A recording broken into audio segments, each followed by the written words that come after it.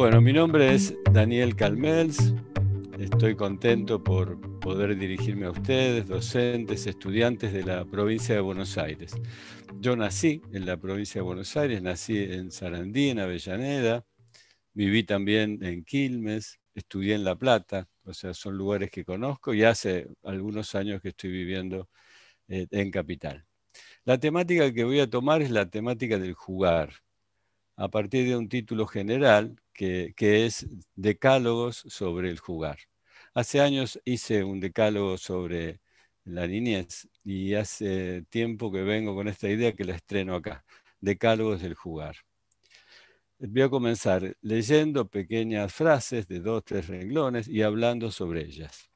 Podemos pensar los fenómenos lúdicos desde la perspectiva de la praxis, destacando el jugar por sobre el juego, o sea, el verbo por sobre el sustantivo.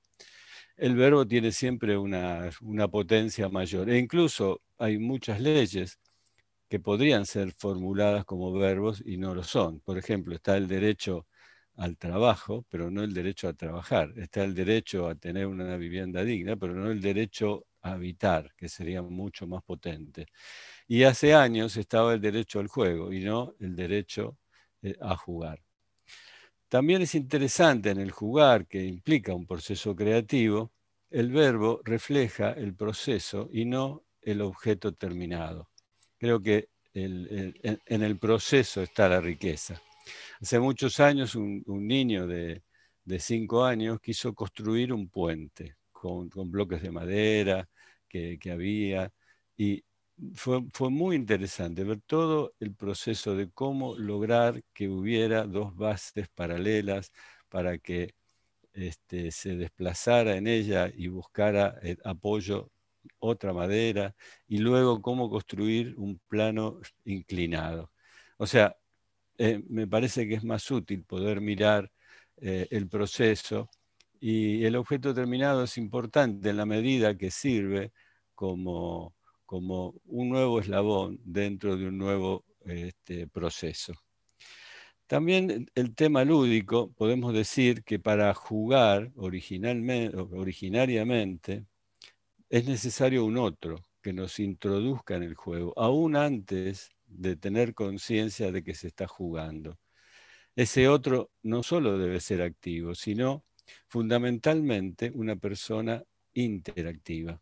Hay una diferencia entre activo e interactivo y comúnmente no se lo diferencia. Eh, desde el campo de la psiquiatría eh, se organizan algunos trastornos eh, y uno de los signos es el signo de hiperactividad, cuando la realidad muchos de estos niños lo que no pueden hacer justamente son actividades. Una actividad implica un comienzo, un desarrollo y un fin. Algunos niños lo que este, desarrollan es una hipermovilidad, no hiperactividad. La actividad eh, es un valor en la medida que sea interactiva. Hay niños que son muy activos, pero les cuesta comunicarse con el otro.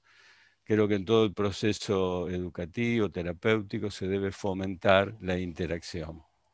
Desde épocas tempranas el niño entonces es puesto en situación lúdica, aún antes de que, de que pueda jugar, aún antes de que sepa que está jugando. Imagínense un bebé de dos o tres meses que hace con la mano así y queda ensimismado en su mano ve modificaciones que hay de la luz, ve algo que se mueve que aún todavía no tiene tan claro si es humano o no.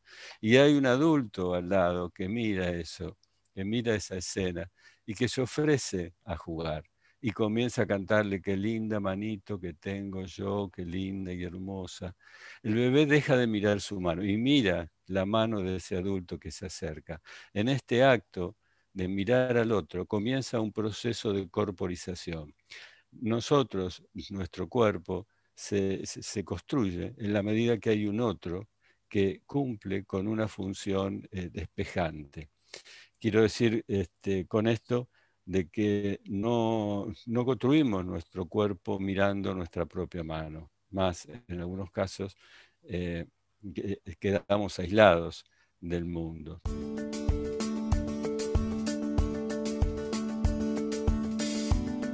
También podemos decir que es necesario en el adulto la presencia de una actitud lúdica. Antes del jugar hay algo que es la disposición al jugar. Eso tiene un gran valor.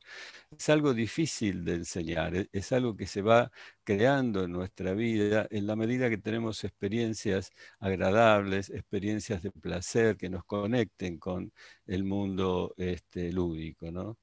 Eh, ese disfrute vivencial del jugar es lo que va conformando una base, una actitud eh, lúdica.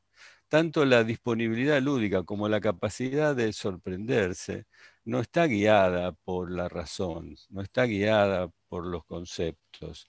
Más, en algún momento la razón y los conceptos pasan a un segundo lugar.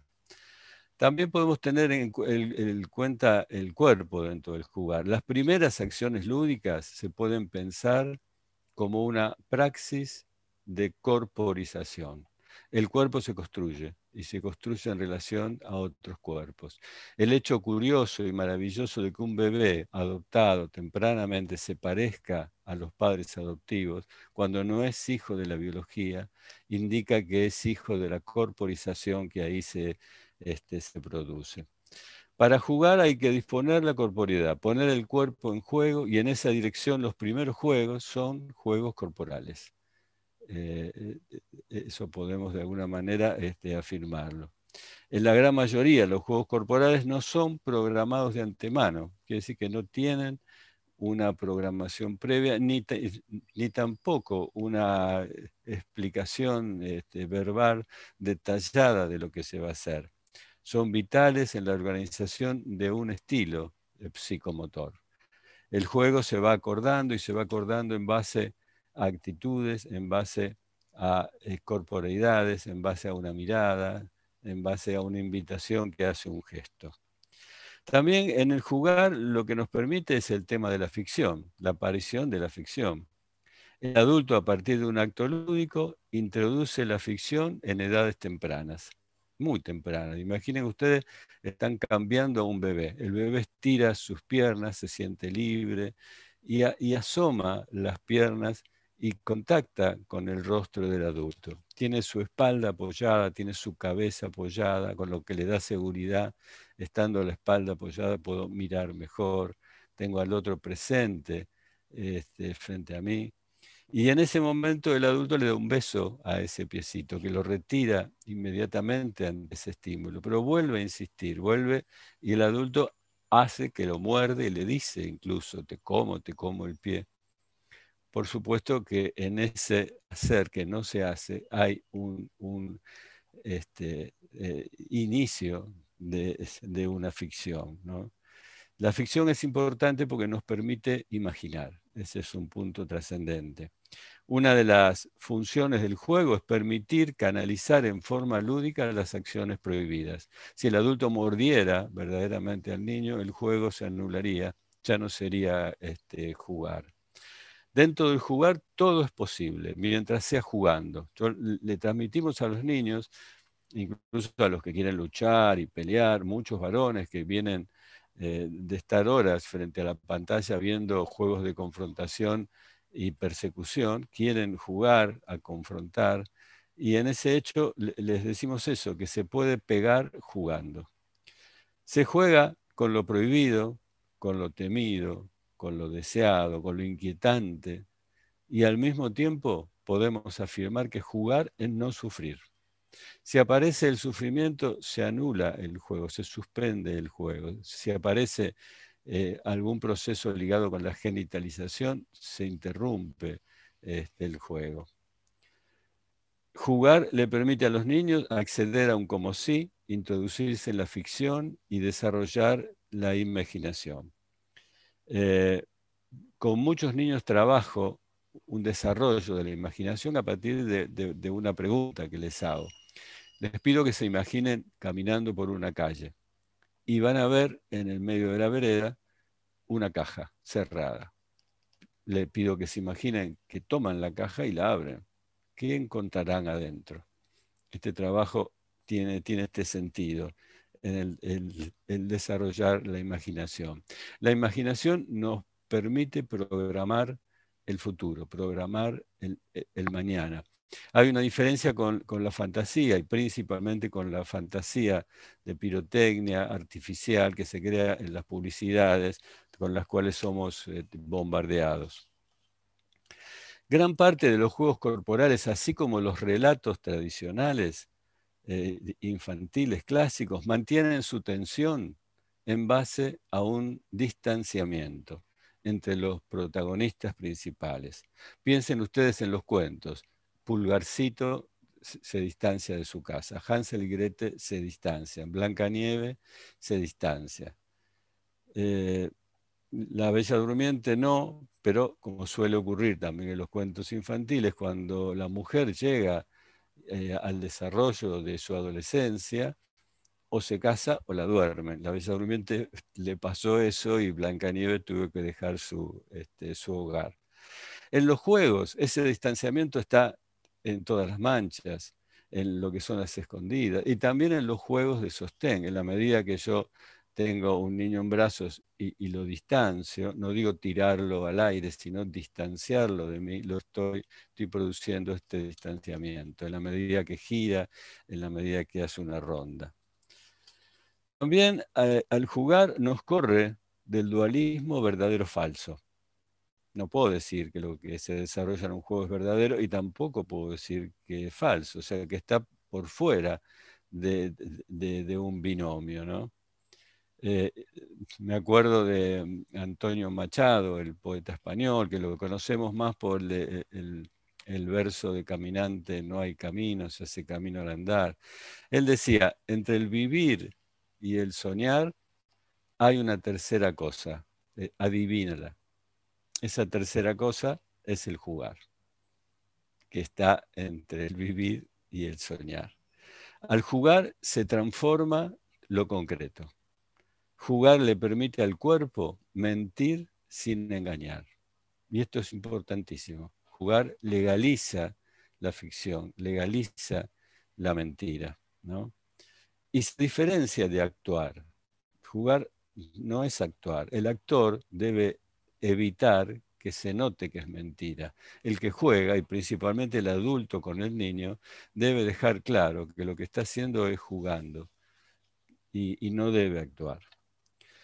También en el jugar aparece la ternura, que es una condición necesaria para jugar eh, y para alejarse y no contaminarse de la crueldad.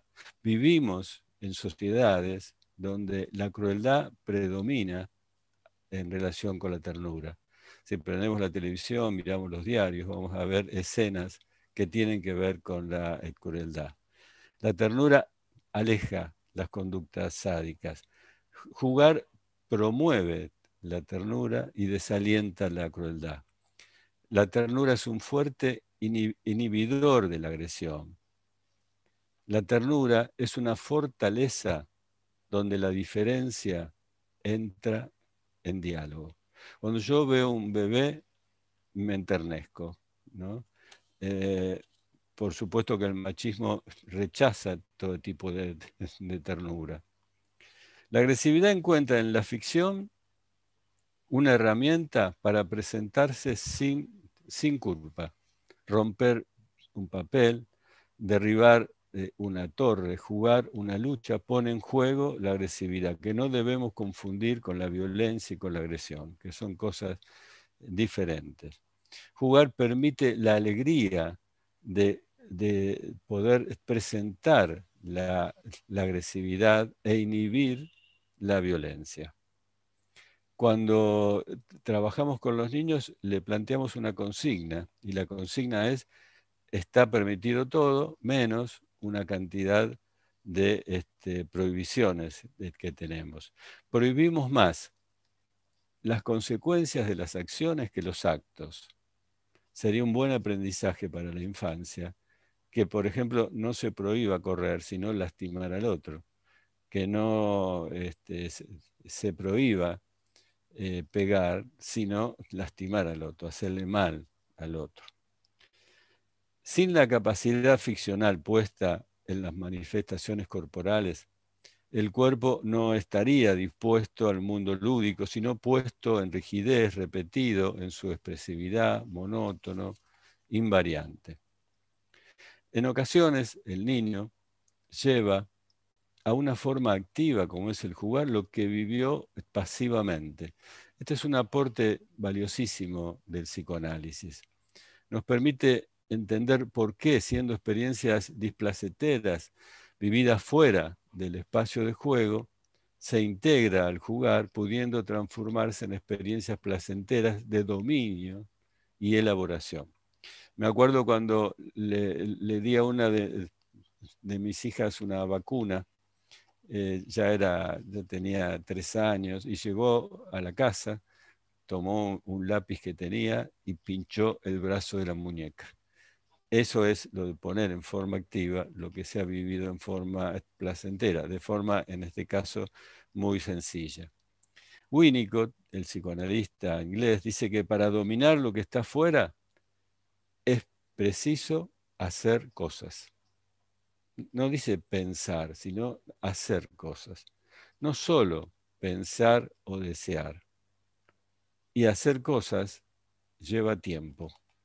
Hay un punto seguido y dice, jugar es hacer.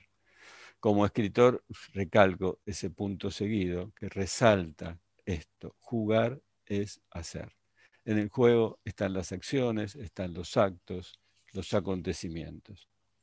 Algunos juegos corporales desde muy temprana edad ofrecen un tiempo y un espacio para desplegar ciertos miedos básicos y en el mismo acto las herramientas para elaborarlo. Esto es lo, importante. ¿Cuáles serían estos este, miedos básicos? Bueno, el temor a la pérdida de la referencia táctil, que son los juegos de sostén, que implican eh, movimientos de giro, de, elevación sostenida, eh, eh, implica estar en los hombros del adulto. También el temor a la pérdida de la referencia visual, como son los juegos de ocultamiento. Arminda Verasturi hablaba del juego de la sabanita, que es cuando a veces fortuitamente la sábana tapa el rostro del bebé y hay alguien cercano que pregunta, ¿dónde está el bebé? ahí se transforma en el cuco. Luego pasa a lo que es el escondite, que es cuando yo llego a mi casa y, mi compañera me dice que nuestra hija no está y está escondida yo sé que está, y si la encuentro es un lío, se enoja, y si dejo mucho tiempo se angustia, es difícil. Todavía no es una escondida, que sería un juego ya jugado eh, en forma grupal. Quiere decir que los primeros juegos son juegos generadores, plantean, desplegan una temática que van a desarrollar. El tercer miedo es el temor a la pérdida de un refugio confiable en los juegos de persecución. Estos miedos básicos pueden eh, dispararse a partir de un falso juego, donde en forma encubierta se juegan aspectos sádicos del adulto. Si yo tomo un bebé y lo lanzo al aire, lo que estoy haciendo es un acto sádico, aunque no lo sepa. Por suerte son las mujeres, son las madres quienes reaccionan ante esto que realizan muchos papás. Para poder jugar se necesita de un espacio permisivo, de un espacio no amenazador y de un espacio continente. Por otro lado, un cuerpo que haya sido aislado de relaciones lúdicas carece de herramientas dramáticas para fabricar acciones donde se ponga a trabajar los miedos básicos. Anclado en la realidad, un cuerpo que no ha sido construido en un vínculo lúdico se muestra temeroso y retirado de toda interacción ficcional. Para que las acciones se constituyan en juego se requiere un acuerdo. Si no hay acuerdo, no hay juego. Es un acuerdo a veces que no es verbal, pero tiene que haber un acuerdo. Eh, acordar es diferente a consentir. Consentir a veces se utiliza como término jurídico, cuando dice que una persona este, se le hizo algo que no quería, eh, se pregunta si se, consintió o no. En algunos casos consentimos cosas porque no nos queda otro remedio, pero acordar implica una voluntad, implica un acto de libertad. La presencia de este acuerdo en los juegos corporales se expresa a través de una gama de matices no verbalizados, variedad de gestos, actitudes, posturas, semblantes, intercambio de tensiones y extensiones que podemos reunir bajo el concepto de acuerdo tónico emocional eh, afectivo. Eh, nacemos con la capacidad de producir emociones, pero no nacemos con afecto. Esto se gesta en la relación. Hay una diferencia entre las emociones y los afectos. Las emociones comienzan, el afecto recomienza. Por las emociones me ligo con mi biología, me ligo con la especie. Con los afectos me ligo con, los seres con los cuales vivo, con los cuales me relaciono. Eh, la emoción irrumpe, el afecto perdura. No puedo vivir emocionado. Los juegos de crianza son un reservorio lúdico corporal. Quiere decir que cada grupo social, cada cultura tiene este reservorio valiosísimo, lúdico corporal. Memoria en actos de la fantasía de una comunidad que crea su propio repertorio de juegos, puestos en acción en el soporte de un relato, cuya tensión se sostiene en un distanciamiento. ¿Por qué relato? Imaginen que se, llega eh, la hora de salir al, parque, al, patio, a donde sea, y un niño comienza a correr, el otro comienza este, a seguirlo, el niño que va corriendo se da vuelta, ve que lo siguen y aumenta la velocidad, el que está siendo perseguido llega a un lugar, se da cuenta que lo van a tocar, toca la pared y se casa y el otro acepta. Quiere decir que hay un personaje que es el perseguidor, un personaje que es el perseguido, un ambiente que es casa, que la realidad no lo es, simbólicamente lo es, que es un refugio, y, se sucede en secuencias en lo temporal. Ese es el concepto de relato. Todo relato tiene una temporalidad tiene personajes en juego y tiene acciones.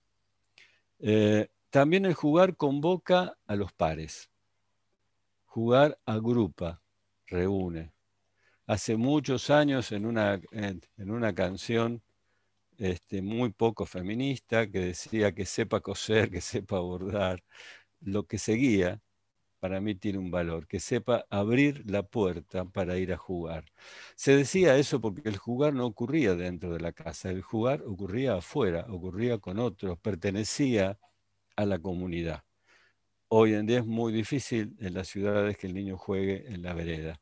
La vereda ha sido confiscada de alguna manera por el peligro de los autos y solamente para la circulación de los adultos. Eh, en el jugar compartido se potencia la amistad. El jugar no tiene una utilidad comercial. Los juegos se convierten en juguete solo al jugar. Y más, se puede jugar con objetos que no han sido pensados como eh, juguetes. Puedo comprar un juego, pero al jugar no se compra. Hay juguetes también con los cuales no se juega, pero le llamamos juguete. Ustedes piensen un rompecabezas complicado me exige un esfuerzo perceptivo y atencional de acomodación que se aleja a los procesos asimilativos propios del jugar. Sobre esto ha trabajado Piaget eh, mucho. Quiere decir que no me permiten modificar las cosas y habría que poner entre comillas si eso es jugar. También en, relación con los objetos, en muchas ocasiones escucho que alguien dice, ese niño está explorando un objeto. ¿no? Había un, niño que, venía la psicomotricidad que pedía y buscaba un globo sin inflarlo, llevaba a la boca y lo masticaba. ¿No? Le gustaba esa este, ductilidad del plástico del globo que, en la boca lo, iba este, armando. O sea, no lo usaba como objeto globo, estaba buscando una materia que le permitiera una sensación específica y lo que producía para él era una estimulación eh, sensorial eh, en este caso. Los globos a su vez como material tienen una cantidad de posibilidades enormes que nos, eh, que nos da. El globo nos ayuda a elaborar los duelos. Imaginen ustedes el globo que eh, en la fiesta de cumpleaños inflado de gas estaba hermoso, tenso, y al otro día eh, empieza a tener algunas arrugas. Y, recuerden el globo de gas también, que, no está, digamos, envejecido, que está muy bien, pero que se escapa de la mano y se va y no lo vemos más. Y el globo cuando se pincha, cuando se rompe, queda un resto. Los adultos a veces con ese resto hacemos algo para reparar de alguna forma. Había un niño que llegaba al, consultorio, a mi lugar de trabajo, y pedía banditas elásticas. Se, se, las ponía dentro de las manos, la ponía acá en la muñeca, separaba las manos y hacía esto. Lo repitió varias veces, la otra sesión le puso más gomitas, con lo cual hacía un ruido este, mayor. Saca esas gomitas y me la muestra y me dice, esto es un aplaudidor. Yo me quedé sorprendido, me pareció magnífico. Nunca me animé a pedir en una librería una cajita de aplaudidores, pero me pareció genial ese proceso. Ese niño no se conectó con una materia, como es el otro niño del globo, ni con una forma, como son los niños que quedan girando una pelota, sino se, conectó primero con un objeto, con un objeto que tiene un fin, que tiene eh, un destino, eh, y, lo transformó en otro objeto distinto, le puso nombre, hizo un trabajo este, creativo. Lo mismo podemos este, observar que hacen los niños con, un autito. Es muy interesante ver todo el proceso que se da. Cuando son muy chiquitos, toman el auto a la mano y recorren con el auto paredes, pisos, pero no lo largan, no largan el auto. El auto solo vive en la medida que él tiene un contacto. Hay un momento donde descubren que ellos pueden darle al auto un impulso y, y hacerlos ir. Y eso es conmovedor ver ese momento donde le dan una autonomía. Y hay otro momento que descubren lo que es el plano inclinado y pueden poner un auto en un plano inclinado, soltarlo y verlo irse sin impulso, eh, con, casi con una vida eh, propia. Eh, jugar, jugar alimenta a la comparación. Y la comparación es el umbral de la metáfora. Yo puedo decir, mis brazos son como alas, y es una comparación. Pero si yo digo, mis alas, ya es una metáfora. La mirada de la comparación es importante porque lo que busca es la semejanza, más allá de la diferencia. Tomemos un niño con, un aro, se mete adentro. Lo que ve de ese aro, lo que percibe de ese aro, es el, espacio que cobija, que puede ser un hábitat para él. Otro va a ver en ese aro una propiedad cinética, lo va a hacer rodar, lo va a hacer desplazar en el espacio.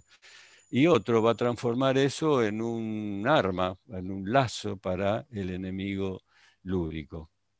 Al jugar se asocia lo disociado, crea hermandad entre los objetos del mundo. Un rollo de lana puede ser una muñeca, una casa puede ser eh, un garaje. Jugar al jugar se asocia lo disociado, lo diferente, y también se disocia lo asociado. Son las dos grandes reglas de la creatividad. Eh, los adultos vemos con mejores ojos cuando se repara, cuando se asocia lo disociado. Eh, sobre el jugar se tiene un saber, aunque no siempre un conocimiento. El saber está dado por la praxis, por la práctica. Alicia Fernández dice que si alguien le dice, préstame el auto que conozco manejar, no se lo presta. En cambio, si dice, sé manejar, sí. Eso da poder de uso. El saber da poder de, de uso. Al jugar podemos encarnar diversos géneros, no solo géneros dramáticos, discursivos, sino puedo ser niño, puedo ser niña, puedo ser niña. El jugar se constituye en la acción que articula al profesional con los niños en un espacio lúdico, que potencia los objetos informes, que atempera las emociones violentas, que sensualiza los impulsos eróticos. El juego tiñe y destiñe, borronea y resalta, inhibe el impulso y impulsa la inhibición. Los adultos o criadores o profesionales, tenemos una función corporizante y una función lúdica. Para los niños, jugar es un lenguaje y una acción, convocante a la institución escolar. Eh, cuando yo les digo a los niños a qué vienen, así como te me dicen a jugar. Y el juego, para que tenga efecto, por lo menos en una terapia, debe tener un reconocimiento social, que por suerte eh, viene creciendo en las últimas décadas. También les planteamos que está prohibido jugar si no tienen ganas de jugar. ¿Por qué hacemos eso? Porque si yo obligo a alguien a jugar, lo que va a hacer es el como sí de un como sí. Y eso es de jerarquizar el jugar y vivir una experiencia lamentable de un niño que está haciendo lo que nosotros le pedimos. Si no juega, en todo caso, lo acompañamos. Lo, acompañamos a qué? A mirar cómo los otros niños juegan y a hablar y comentar este, sobre eso. Eh, jugar le posibilita al niño entrar al mundo común de la cultura participar de la historia del quehacer lúdico a través de los juegos compartidos y consolidados generacionalmente. O sea, que jugar integra al niño en dos direcciones. Con los pares que comparten la actividad lúdica y los códigos que en ella se tejan, y con las generaciones pasadas, transmisores de juegos y juguetes, que son frecuentemente los seres queridos que cuidan, que acompañan al niño los adultos.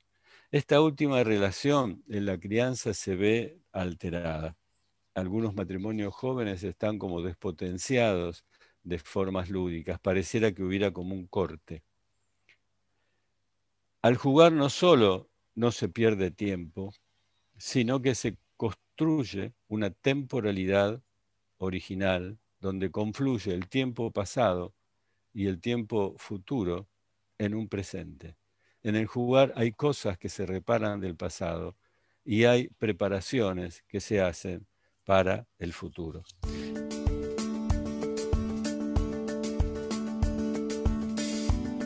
Y para cerrar, algunas confusiones que a veces tenemos. Una que es confundir disponibilidad con sobreadaptación.